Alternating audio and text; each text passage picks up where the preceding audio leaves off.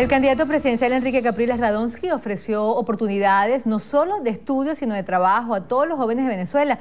Estas declaraciones las ofreció desde Cabimas, Estados Unidos. Nuestro compañero Santiago Gutiérrez nos informa. Adelante, Santiago.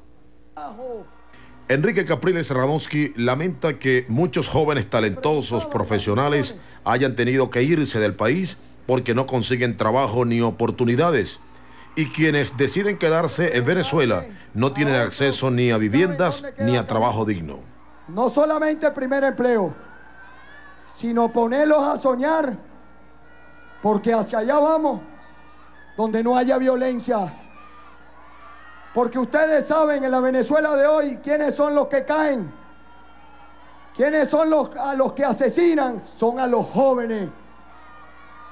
Y uno se pregunta, ¿y estos que están allí? Ese grupito que está allí, que lleva 14 años, un joven que hoy tiene 18 años, creció fue con este proyecto. Y si se desvió fue por culpa de este proyecto.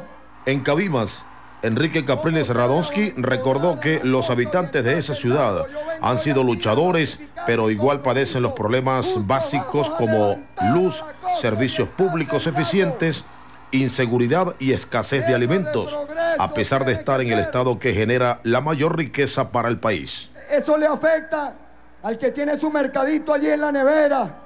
Se va la luz y se daña la comida y no hay nadie que reponga esa comida. Yo vengo hoy a decirle al Zulia que cuando me hagan su presidente el 14 de abril, aquí se van a acabar los apagones, las multas eléctricas y el razonamiento eléctrico y ratificando sus convicciones religiosas, Enrique Capriles Radonsky culminó su visita al estado Zulia, visitando en el centro de la ciudad de Maracaibo la basílica, donde está la imagen de la Virgen de la Chiquinquirá, patrona de los zulianos. En Cabima, Santiago Gutiérrez, Noticiero Benevisión.